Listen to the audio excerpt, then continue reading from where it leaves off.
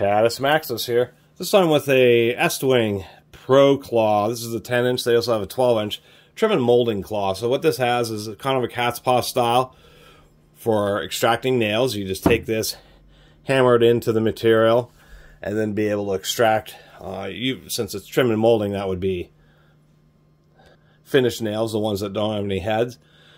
This one definitely is seen some use. We can certainly see plenty of hammer marks. I did a little bit of filing because it was starting to mushroom over a little bit.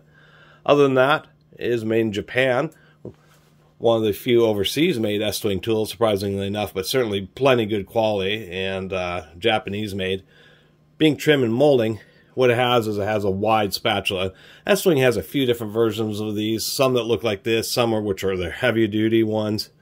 We can see that when you're using these tools, you do this edge here does tend to get a little bit torn up, but it's nothing that just a few licks with a file across this surface and across the back can't sharpen up.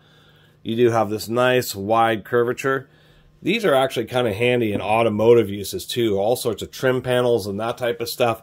This really wide, thin surface with this broad curve is just really excellent.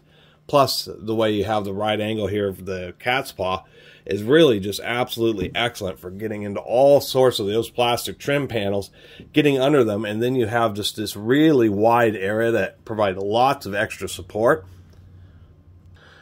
So you're less likely to ding or crack those plastic panels, and then the wide uh, curvature just gives you a lot of controllable prying action to get those panels off. And that's really uh, a big advantage is not just for the molding, for the same reason, the wide area when you're trying to pull off molding makes it so that you have less likely of denting the material, the wall, sheetrock, or drywall behind the molding just because you're offsetting the pressure over more area.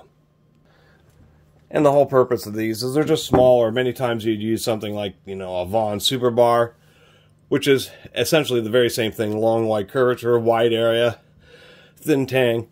They just tend to be much larger, such as the Super Bar, or of course the Super Bar XL. And so that's just kind of the neat thing. And I do like these Estwing versions.